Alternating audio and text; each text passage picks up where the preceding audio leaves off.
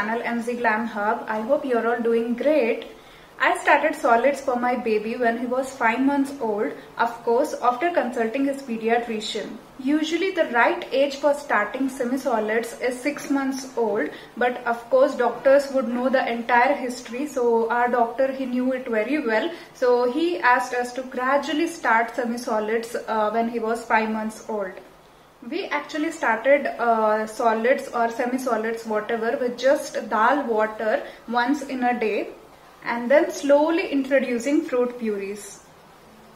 Now my baby is 7 months old and he has lot of tantrums for eating. He is not at all a good eater. So now I really understand the pain and struggle of all the moms. So this video is anyhow not about solids recipes but it's definitely related to solids. So in this video I am going to share with you guys two things. First one kitchen accessories some of the unique and very interesting kitchen accessories that I came across which just not helps you in generally in the kitchen but also in the solids preparation. And the second one is a DIY hair oil which is just made with three ingredients and you can make it just in three minutes. So after delivery we usually face lot of hormonal changes and because of that we definitely face hair loss. So post delivery many women face extreme hair loss because of lot of hormonal changes and so did I. So I thought why not give it a try. So without wasting any more time let's jump in the video. And if you haven't subscribed to my channel yet, please do it. If you like this video, please give it a thumbs up and share it with your friends and family. So let's get started.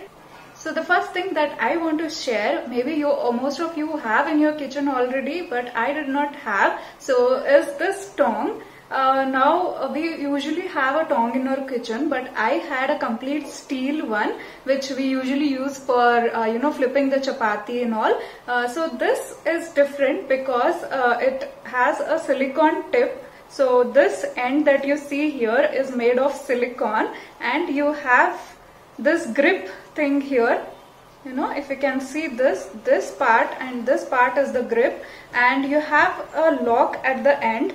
So if you see this so you know you can you can lock this. Now it's locked. If i pull if i push this in this opens up and when you're done with your work you can just fold this and pull it out. So this gets locked I don't know. I somehow li really like this. I did not have this earlier. Uh, I bought it from Amazon. This will generally help you in the kitchen. But other than that, if you have started solids for your babies, if you have started fruits or vegetable purees, you usually boil uh, vegetables or purees or steam them. So when they are, uh, you know, hot, very hot, it's very difficult to take them out. Uh, so this comes in very handy and very useful for that Say for example when I'm making an apple puree, so once it is done, it's very hot so I can easily pick it up with this. And the best thing is since this is not steel and it's silicone, it doesn't mess up or it doesn't break the apple piece. It will remain as is and you can easily peel out the uh, skin and take out the pulp. So yeah, this is my first favorite kitchen accessory that I wanted to share with you guys. So the second thing that I want to share is this steamer. So again, if you have started solids for your babies, uh, then it's always better to steam the veggies and fruits and not completely boil them because they say when you boil the veggies or fruits, all the nutrients are lost uh, so it's always important to steam them and then feed and not boil. So this comes in very handy. Uh, so it comes in like this with a handle here, with a plastic handle here. So it's very easy to, you know, hold it. And you can open it up like this. Keep all the veggies or fruits here and then close it. And it even has these legs here so you can easily keep this in a uh, cooker or a idli maker or any vessel. You can just keep this and just close the lid. Add little water in the bottom and uh, steam it. That's it. You're good to go. So yeah, this comes in very handy in your solids journey. So the next thing that I want to talk about is this apple cutter. My sister-in-law introduced this to me and I really liked it. So what I personally felt is this is not very useful in making an apple puree but generally if you are uh, using it just to cut an apple for adults then it's good and it's useful and it's very quick. But uh, while making an apple puree what I prefer is just to make uh, just four pieces out of an apple and then steam it. Uh, this actually makes lot of pieces. As you can see here it actually makes six to seven pieces so yeah this is generally useful if you're just cutting an apple uh, to have it and not for an apple puree. So the next thing that I wanted to share is this oil applicator. I wanted something like this from a really long time but I didn't know what to search and uh, I did not find anything like this. So while watching one of the YouTube videos I came across this and I immediately ordered this. So what happens is when you're making something like a sandwich or an omelette on the tawa, uh, I usually prefer just greasing it with the oil and not completely applying or pouring the oil on it. So I had this normal uh, greaser or applic oil applicator. So what happens is when you're using this, you should already have a bowl of oil and then dip this in this and then use it.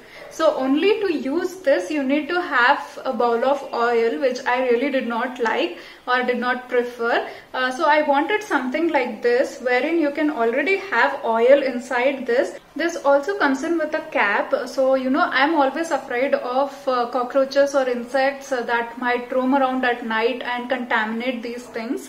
Uh, so this is very useful and it's very easy and quick to use you already have oil in it and you just slightly press this and you can easily grease it. So yeah, this is it. And whatever uh, I'm showing, these are not at all expensive. These are very affordable. Now, I'm not sure if other ladies can relate this to me and you to feel the same what I feel. But I always want a kitchen towel handy in my kitchen. So what happened is when we uh, designed, when the interior of my kitchen was done, so we had uh, the bigger tiles all over the kitchen wall. We did not add any accessories on the kitchen wall and I forgot to have a kitchen towel hanger installed when the interior was getting done. So I found this little handy thing.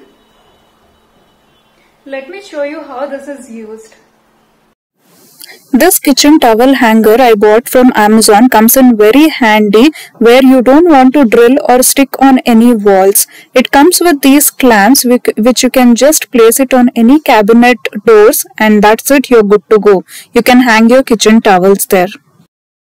So yeah, these were all the kitchen accessories and the next thing is the DIY hair oil that I was talking about. So this needs three ingredients, just three ingredients. One is uh, curry leaves, second one is methi seeds and the third one is a hair oil. Any hair oil of your choice. I used a parachute normal hair oil here since most of us are working and very busy in our life, it's very difficult to, you know, take care of our hair like those earlier days where our uh, elders, our grannies and moms used to take care of their hair applying shikakai and lot of things. But at least this one we can try it out. It's very easy and quick to use. You only have to add all the curry leaves, pluck out all the leaves and uh, take out all the stems Take all the curry leaves and add it into the pan. Add the methi seeds and your uh, desired or favorite hair oil, whatever you are using at home, uh, that's it. Add these three ingredients in a pan and just heat it for a few minutes on a low flame.